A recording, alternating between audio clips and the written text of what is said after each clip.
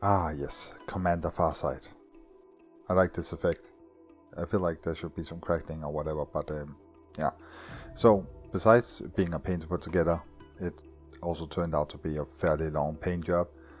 Um, I surfaced him with the pure red from Vallejo, but I guess Mephiston red or whatever would do the same. And uh, then I did Eshin Grey for the stone he's standing on. That was like my, my first thing. Uh, as you might have spotted, I did some Zenithal with a lighter red, just for the hell of it. Also, I did it on my Eldar army, and that looked fairly good, so yeah, why not? So this is going to be a longer video than what I normally do. Uh, and that's simply because this is a model that I felt um, deserved a little bit more attention than uh, than what I normally care to put into these models. Uh, I am the bad mini painter after all, uh, and uh, you don't you don't stay bad if you actually put an effort in. That's that's the issue. So I generally just went around with the Khorne red next uh, to do his uh, his lines, his his markings, and to add some variations. Basically, I'm kind of just following the box art, but don't tell anyone. Um, but it, it looked really good, and uh, I, I actually tried a little bit of freehanding, and that ended up quite well as well. Well as well. That's that's a bad sentence. Uh, but Commander Farsight is a pretty cool model. He was kind of a pain uh, to like, uh, put together, but, but, I really like this model.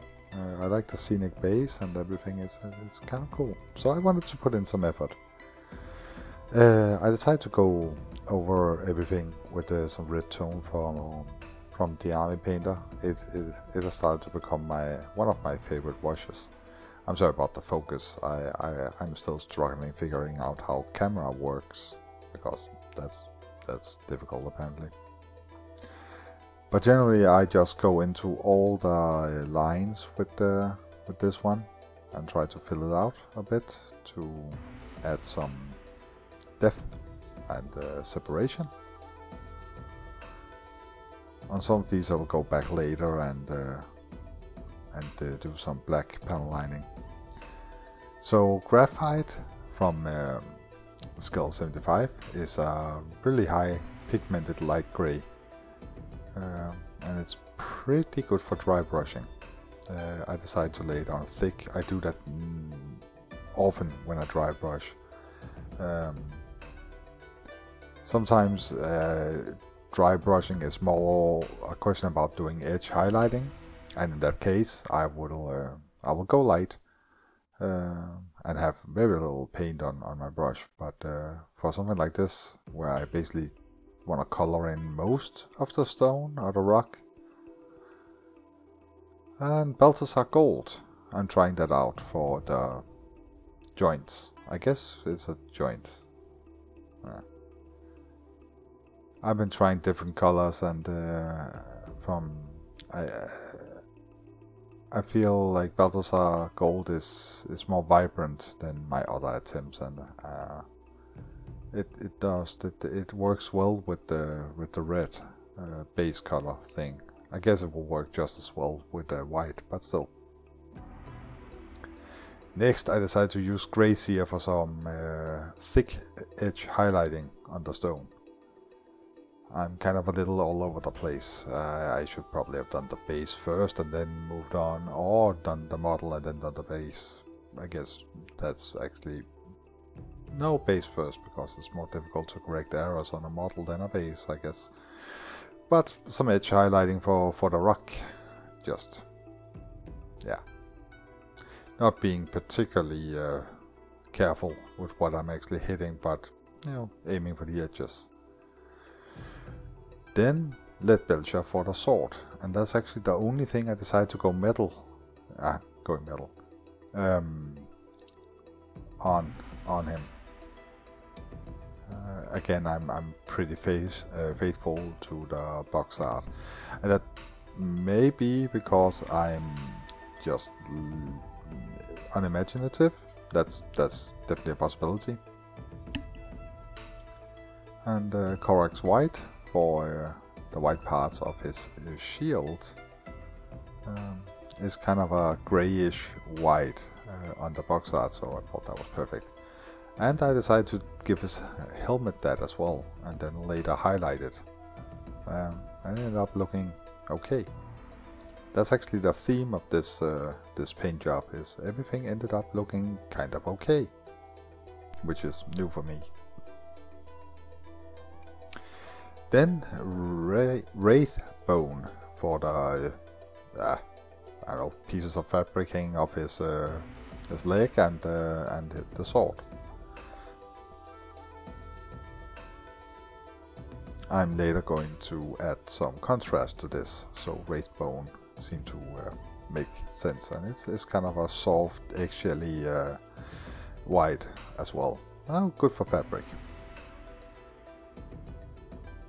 And the same thing for the fabricating of his um, his leg, for some reason. I think that when Game Workshops um, designs models, it's, it's, it's partly to pay, uh, piss painters off and uh, partly to add awesome details. Then it's Abaddon Black time, and I'm pretty sick of painting with Abaddon Black. Not as sick as I am of painting with uh, Horus Green, but uh, Horus Sun. Sons of Horus, that's the name of it. But I just generally go all over the bottle and add black where black should be. And that is uh, all the vents or whatever that is. And uh, uh, his chest emblem, uh, his legs, uh, parts of his weapon as I remember. Careful now, I might be lying. Nope, no I'm not lying. Well, not about this. I started out being super careful uh, with this and then I figured that that wouldn't pay off at all.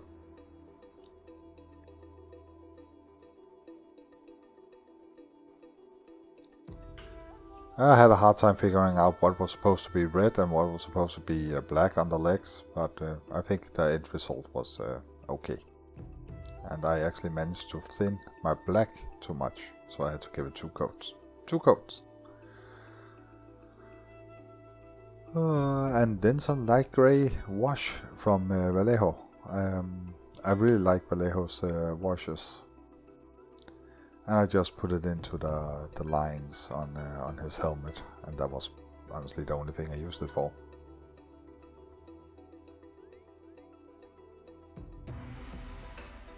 And then the black wash from uh, Vallejo. Uh, for the places where I wanted it, the line separation to be uh, more visible than what the red tone offered. And I'm simply using a super thin brush, focus, thank you, super thin uh, bristle, bristled uh, brush, adding the wash to it and just letting it seep into uh, into the channels that is on, on this model. And it gives a pretty clean result. And if it doesn't, and you're quick, you can just wipe it off with your finger with no need to go in and uh, repair it violently with uh, red colors. That's also the problem with the stencil highlighting thing. I wanted that to um, stay there. So that made it hard to go in and repair something. Because you have a gradient. So if I painted on it, it was hard to recreate that gradient. Yeah, that makes sense.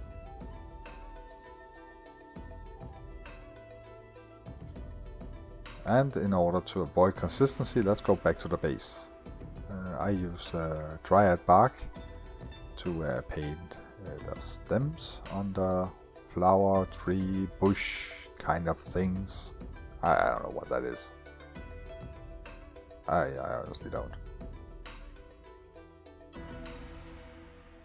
but a base color of a dryad bark, which is uh, intended for bark. So perfect.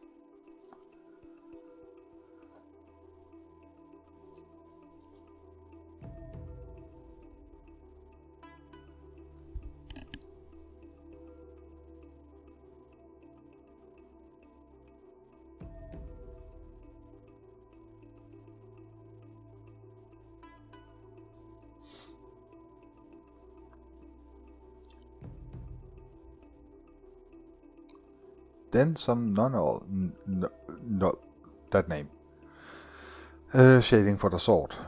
Um, I tried to put on a fairly thin layer just to add a little bit of of um, different um, shading.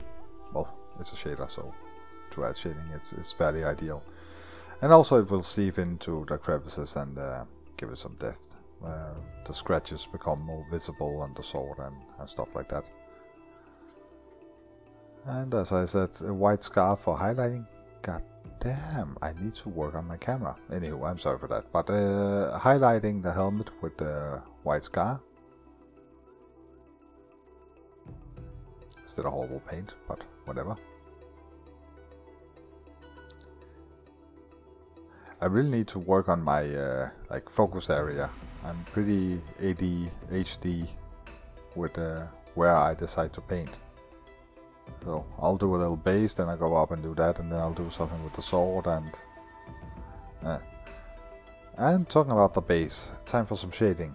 And I decided to go with some Coelia uh, green shade for, uh, for all the cracks to make it a little mossy, mildewy, and then Biel-Tan Green on top that more generously, a little too generously, but uh, again to to make it look a little bit uh, alive and natural, like uh, a little more lush. I think lush is the right word.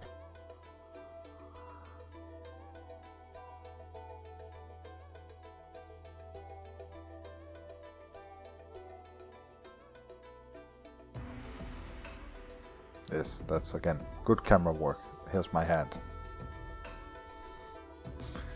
I am getting better at it. It's it's all about angles and uh, well, a lot of stuff is. So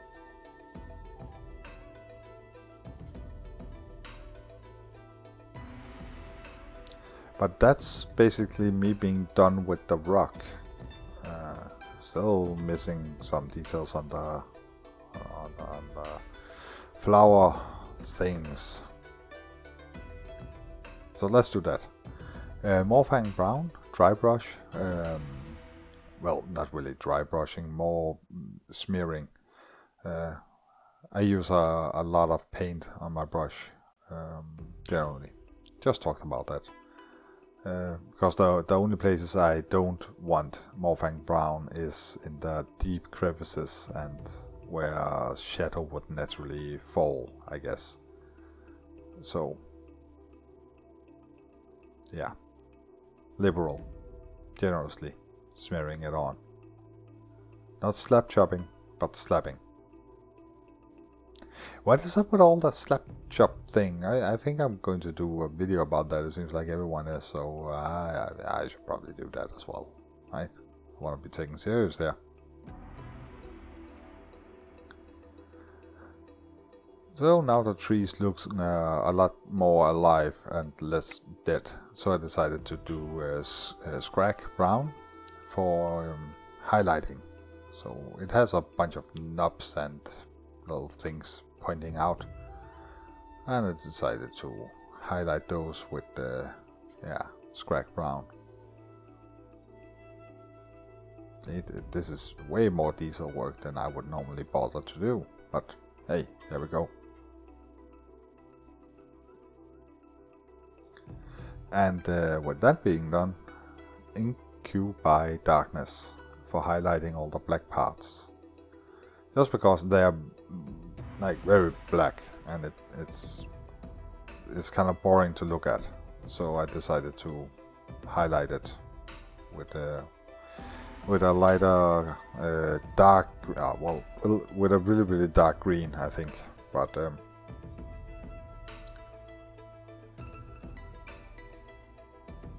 just to make sure that everything didn't uh, seem too flat. I think flat is the right word, everything seemed kind of flat. And I went all over, like, all the black parts of, it, of him. Got a... Oh, and now the model is actually shadowing what I'm doing. It's, everything is going great. Stormhost Silver for the sword, and that was also where uh, when I realized that uh, I actually had some pretty bad pooling. on top of the sword or alongside the blade, but and I really like using Stormhost Silver just for highlighting. Um, it's excellent at that when you use uh, Leadbelcher. It's funny because it doesn't seem like it, it makes a big difference, but when you do it before and after, after you have done it, you're kind of like, oh yeah. Uh, uh, but if you do it before and after, it's a huge difference. So it's funny like that. And Auric Armor Gold to highlight um, the joints. Other bolts, things. I don't know what it's called. I decided to highlight with Auric uh, Armor Gold. Something I I started using when I thought I was going to be the master of everything playing Custodes. And a little dab of uh, Lothern, Lothern Blue on his arm thingamabob. I think that is the official term for it. Like technically it's a thingamabob. What other things is? And uh, Plasmatic Bolt is a speed paint uh, from uh, the Army Painter. Uh, and I quite like their speed paints. I know there was a problem with the speed paints reactivating themselves or reactivating each other, uh, but I haven't really had any issues, uh, even though it's a version 1 that I'm uh, using here.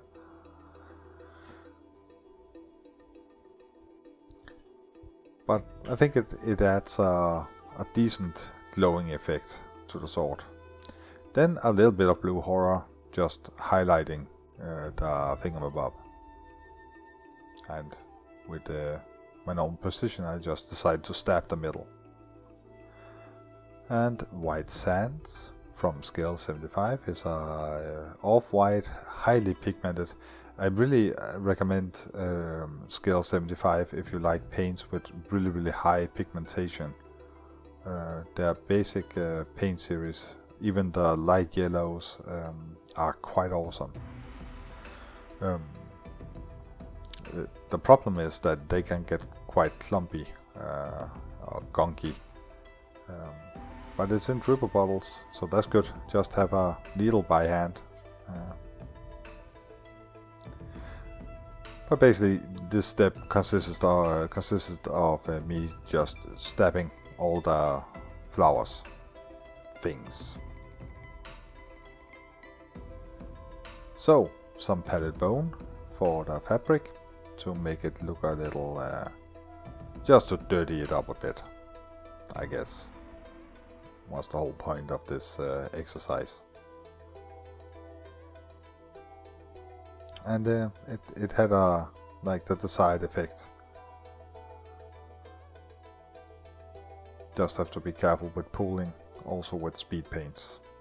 So what I do normally is I just use the brush to collect whatever I have when I have a little bit too much and then yeah, you can wipe it off or use it on the other side. It's Zealot Yellow again from the Army Painter for the flowers. Uh, I try to stay like center of the flower but not care too much if I hit other parts of the flower and uh, the end result was actually kind of uh, decent. I mean, not brilliant, but but decent.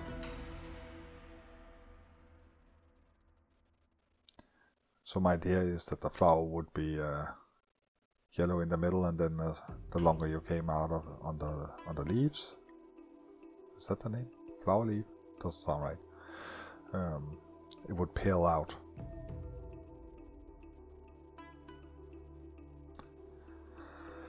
And then, finally, my uh, absolute last step was to go over the entire thing with, uh, with uh, Wild Rider Red, uh, just doing highlights. And for some reason, half of my footage corrupted, but I went through the entire bloody thing. Uh, and it, it, it took quite a bit of time.